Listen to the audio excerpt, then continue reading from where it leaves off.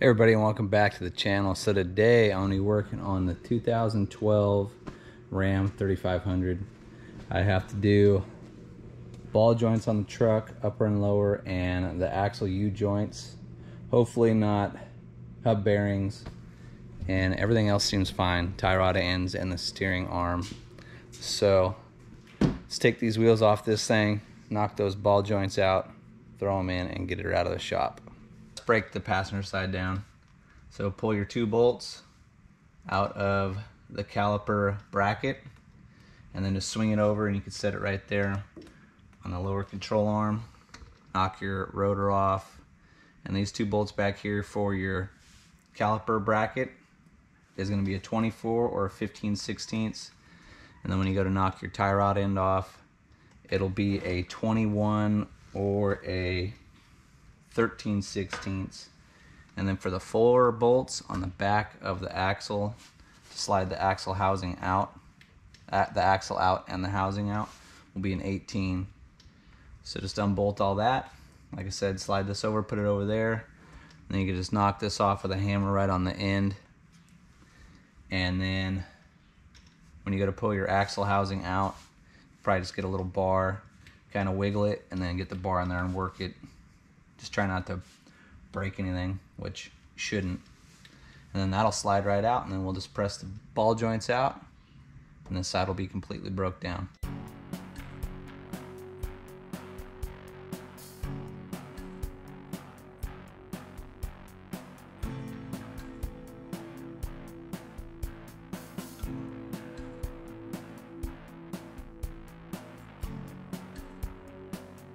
BS line or wire.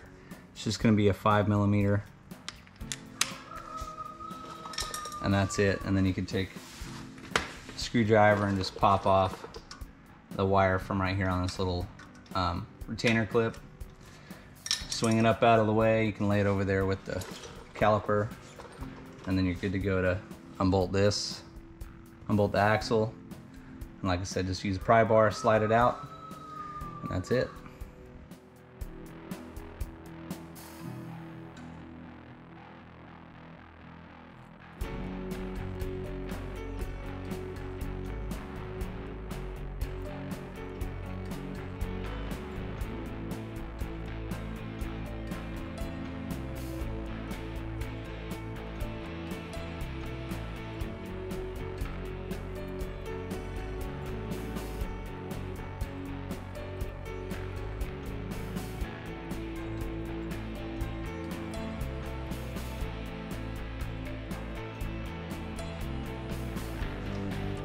All right, so to take your nuts off, you're gonna need a 24.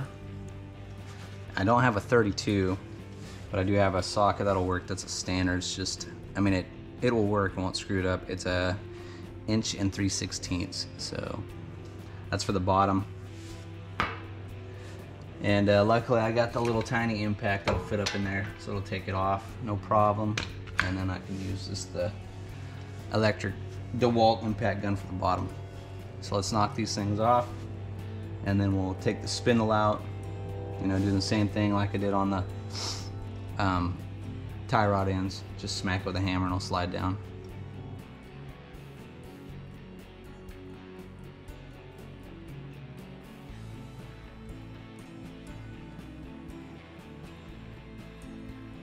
There is a retainer clip. Just pull the C-clip out.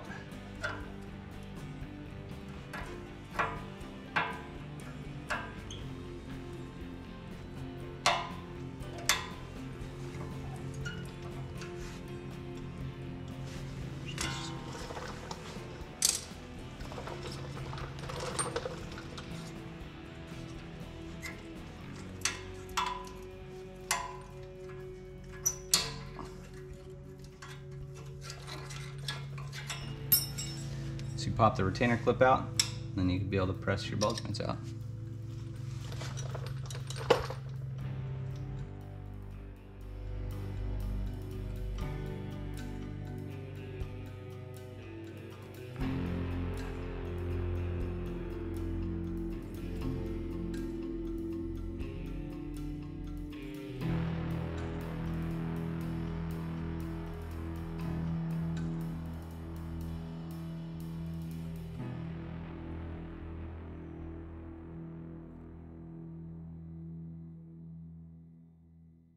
All right, everything's broke down now. And if you look, these are factory factory ball joints, never been replaced. But this one, it has some pretty bad scarring. I don't know if you can see it. Or when it was installed. So let's have to clean it up down in here. You can kind of see it. Yeah, right there. So I have to clean that up. And then just kind of clean all of them up a little bit. And then go through the ball joints in the freezer. Let them get nice and cold. And then press them in.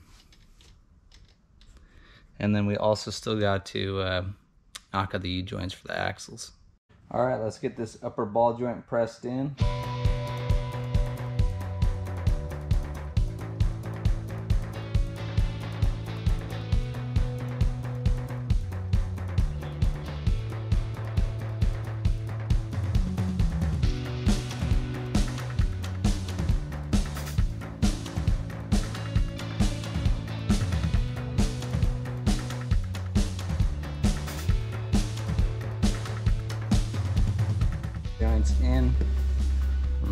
Your retainer clip on and your zerk fitting.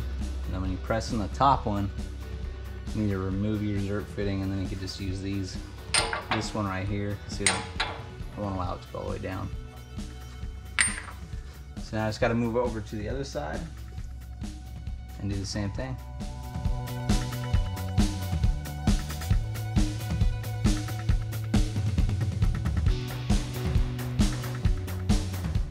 And so for the bottom nut, you're gonna need an inch and 5 sixteenths. That's what I got. And then for the top one, you can use a 27 and it should be a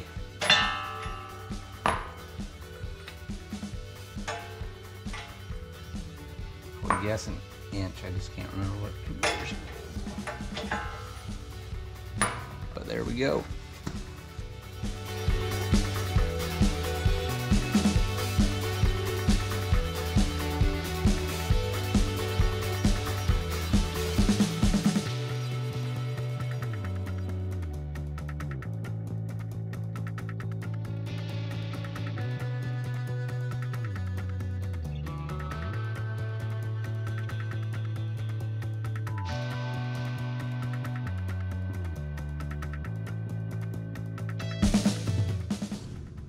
All right, now I'm gonna replace the axle U-joint. So you gotta remove your snap rings that are right here on the caps. You just knock them out with a screwdriver. And then sometimes they break, sometimes they don't. So we'll do that and then knock the U-joint out.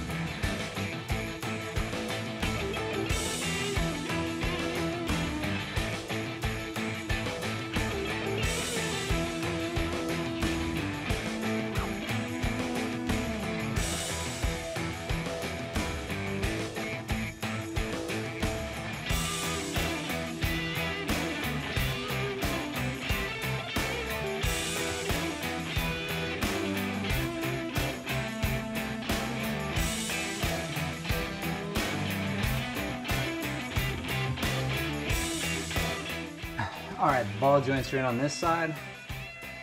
Now I just got to put the um, tie rod in back on the spindle. And I'll go out and knock the U-joint of the axle shaft and put the new one in. We'll slide this on, put the rotor and caliper back on, and the front of the truck is completely done and they can go get aligned. So I'm ready to throw that axle shaft in. And when you're doing your U-joints, just check everything. Make sure everything's free.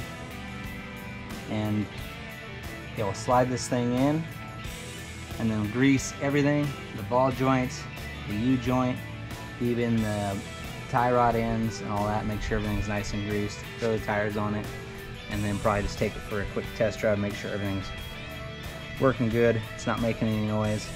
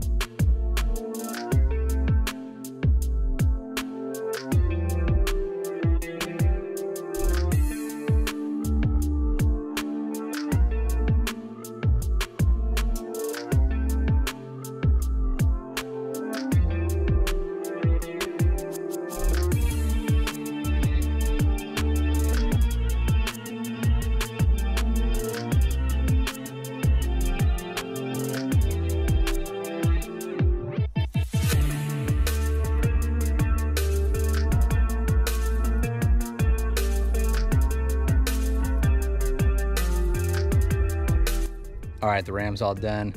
Front end's greased. Let's take this thing for a test drive real quick.